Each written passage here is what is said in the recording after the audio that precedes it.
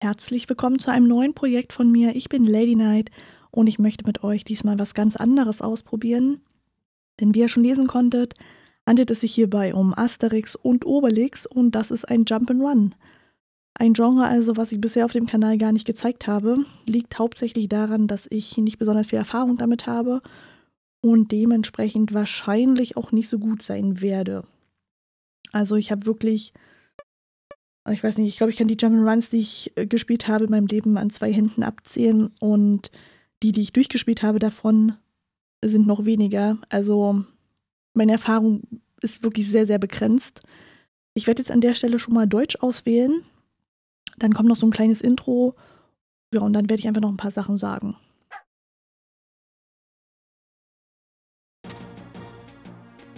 »50 vor Christus. Ganz Gallien ist von den Römern besetzt. Ganz Gallien? Nein. Ein kleines, von unbeugsamen Galliern bevölkertes Dorf leistet dem Eindringling immer noch Widerstand. Um sie gefangen zu halten, hat Caesar eine riesige Palisade um das Dorf errichten lassen. Asterix und Obelix beschließen, Caesar zu zeigen, dass nichts und niemand sie aufhalten kann. Sie werden durch das römische Reich reisen und aus jedem Land ein Andenken mitbringen. Da wissen wir jetzt also schon etwa, was wir so zu tun haben werden. Aber wie bin ich jetzt überhaupt auf die Idee gekommen, ja, das Spiel zu Let's Playen? Ich bin beim Aufräumen tatsächlich auf einige Schätze meiner Kindheit gestoßen, unter anderem eben auch Asterix und Obelix. Ich habe das früher immer zusammen mit meinem besten Kumpel gespielt. Das ist auch ein, ja, ich sag mal, ein Vorteil dieses Spiels. Man kann es im Koop-Modus spielen und man muss nicht gegeneinander antreten, sondern kann es versuchen, gemeinsam äh, zu schaffen. Das ist uns leider nicht gelungen. Also wir haben es weder zu zweit noch habe ich das alleine irgendwie mal geschafft durchzuspielen. Und ich kann jetzt auch gar nicht sagen, wie weit wir gekommen sind. Wie gesagt, ich weiß nicht, wann es endet und wie es endet und wo es endet. Dementsprechend lässt sich das jetzt ein bisschen schwer einschätzen, wie lang das Spiel letztlich wirklich ist. Aber ich habe mir jetzt auf jeden Fall gedacht, da das Spiel ungeschlagen ist, wird es also Zeit, das Ganze jetzt nochmal anzugehen und ja, diesen Umstand zu ändern. Und deshalb mache ich das jetzt einfach mal. Ich werde jetzt mal ganz kurz hier in die Optionen gehen, denn da gibt es noch so ein paar Sachen, die ich gerne einstellen würde. Zum einen der Schwierigkeitsgrad. Wird vielleicht viele verwundern, aber ich werde das Ganze auf schwer spielen. Ich habe zwar gerade gesagt, ich habe keine Erfahrung mit Jump'n'Runs oder nur sehr wenig Erfahrung. Ist auch richtig, aber wenn ich es jetzt schon mal spiele, dann möchte ich die Herausforderung doch so anspruchsvoll wie möglich machen. Das kann jetzt aber auch hier der Punkt sein, der mir das Genick brechen wird. Also möchte ich jetzt nicht irgendwie dran zweifeln, dass es könnte das Ganze ein bisschen in die Länge ziehen. Aber ich möchte es doch, dass das Ganze auch ein, ja, eine gewisse Herausforderung wird. Ich kann auch nicht mal sagen, wie schwer das Spiel eigentlich ist als Jump'n'Run. Also ich wirklich, ich kann das ganz, ganz schlecht sagen. Äh, da muss ich mich so ein bisschen auf eure Einschätzung verlassen. Dann werden wir als erstes mit Asterix spielen. Das hat jetzt eigentlich keinen speziellen Grund. Ich würde einfach nur gern mit ihm beginnen. Sobald ich Game Over gehe, was zwangsweise irgendwann der Fall sein wird, werden wir zu Obelix wechseln.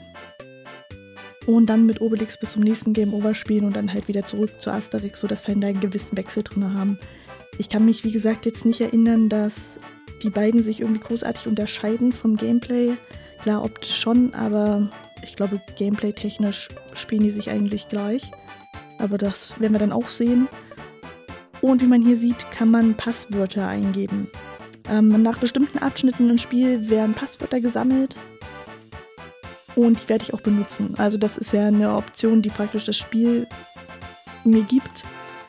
Und das werde ich auch verwenden. Also wenn ich Game Over gehe und schon ein Passwort habe, werde ich auch ein Passwort wieder starten und nicht wieder von vorne beginnen. Wir wollen ja denn doch irgendwie die Chance haben, mal fertig zu werden mit diesem Projekt. Also Passwörter werde ich auf jeden Fall nutzen. Das ist vielleicht auch ganz interessant in dem Zusammenhang, ähm, dass das jetzt hier nicht meine PC-Version ist. Also ich hatte früher die PC-Version, habe die auch immer noch, aber bei der Installation gab es dann doch ein paar Schwierigkeiten.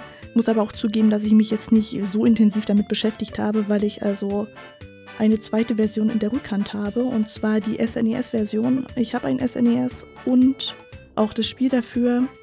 Ich hätte sogar eine Capture Card.